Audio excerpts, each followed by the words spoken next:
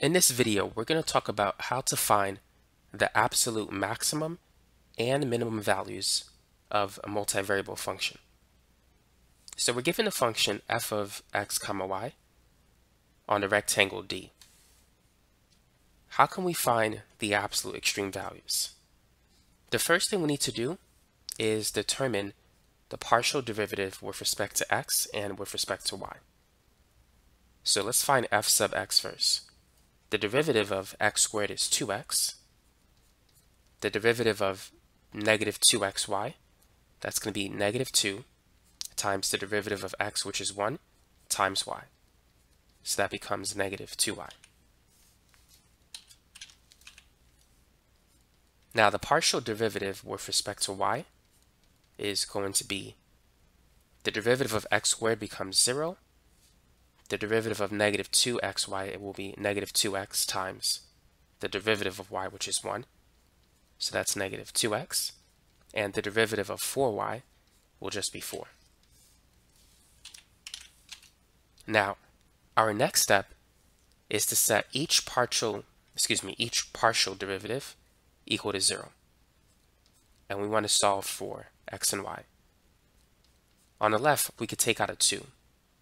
On the right, we could take out a negative 2, which will leave behind x minus 2. So we could solve for x here. x is 2. Now, if we take that x value, plug it into that expression, we can see that y is equal to 2. So this gives us the critical point 2 comma 2. Now what I'm going to do is I'm going to draw the rectangle bounded by x and y. So here is the rectangle D. It has the points 0, 0, 4, 0. These are the endpoints of the rectangle. y varies from 0 to 3, so this point must be 4 comma 3. And over here, this is 0 comma 3. Now you want to break up the rectangle into four line segments. So we're going to call this L1, L2, L3, and L4. Now, the absolute maximum and minimum values could be any one of the four endpoints that we have on this rectangle. It could be a point on the line segment.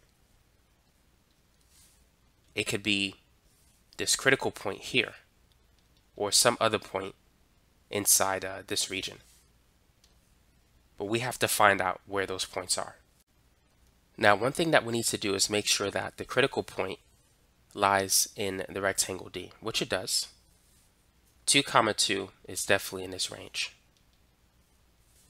So now, the next thing I'm going to do is make a table with x, y, and a function value f. And I'm going to place all of the endpoints in this table, as well as the critical point 2 comma 2.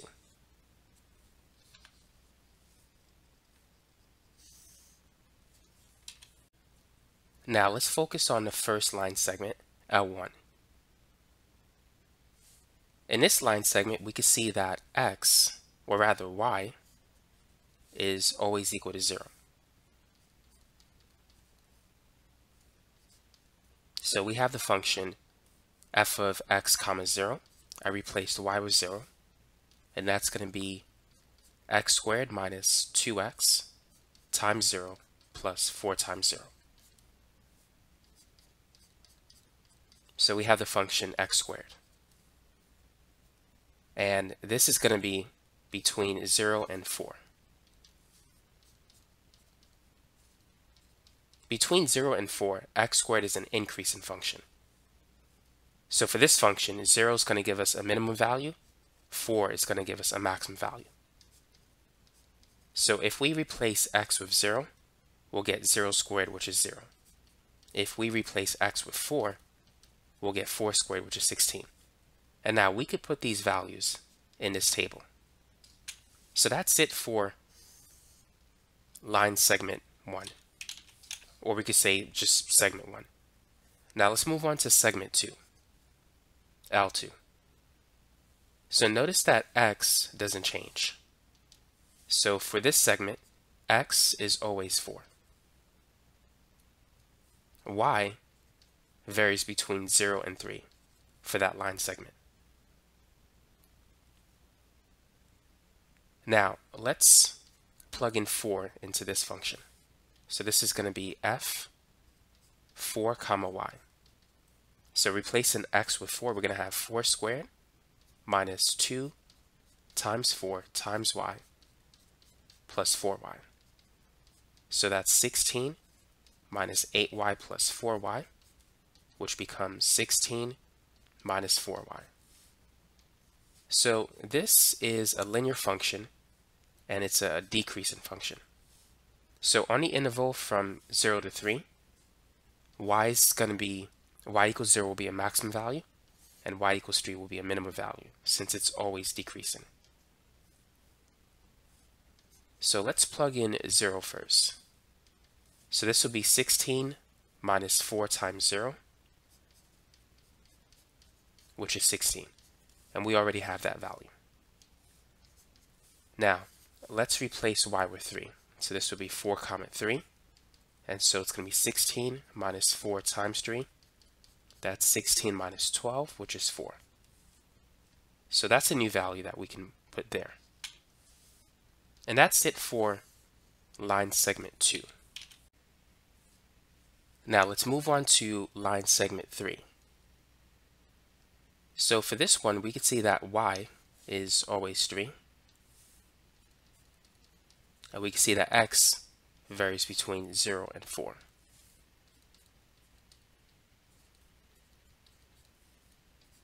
So replacing y with 3, we have f of x comma 3.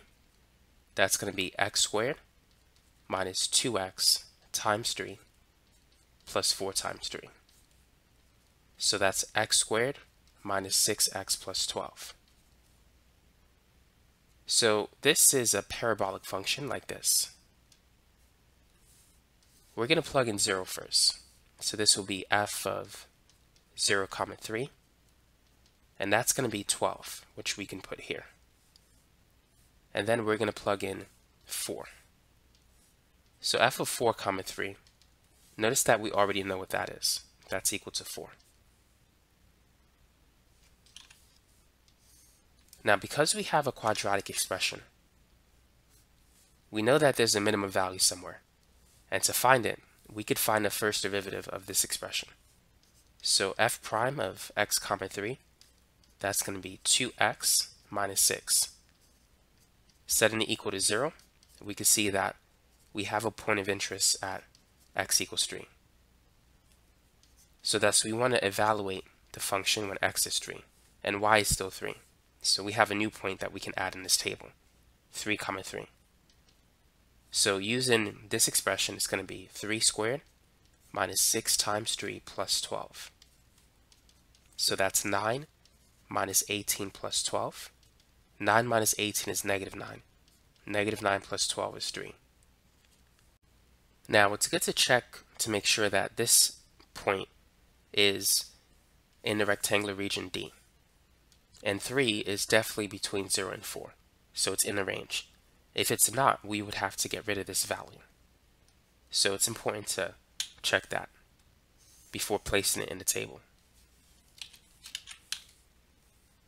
Now let's move on to the fourth segment, L4.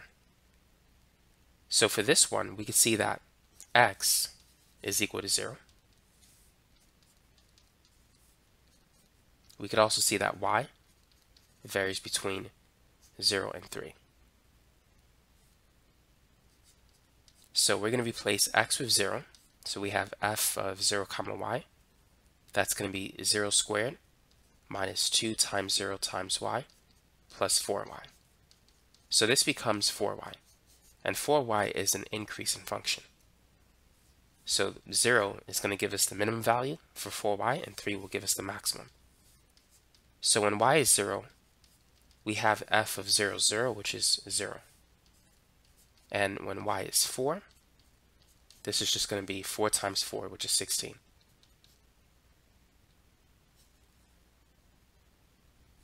Actually, that's supposed to be a 3 instead of 4. I plugged in the wrong number, so it's 4 times 3, which is 12. And we already have that. So there's nothing new with uh, this segment. The only thing that we could do is plug in the critical point 2 comma 2 into the original function. So that's going to be 2 squared minus 2 times 2 times 2 plus 4 times 2. 2 squared is 4, 2 to the third is 8, 4 times 2 is 8. So this gives us 4. So we can see that the absolute maximum is located at the point 4 comma 0 and the absolute maximum value is 16. The absolute minimum is located at the origin 0 0 and the absolute minimum value is the lowest of the f values which is 0. So that's why I like to use the table because it's very easy to identify which one is the absolute maximum and which one is the absolute minimum value. So that's it for this video. That's how you can find it given a multivariable function.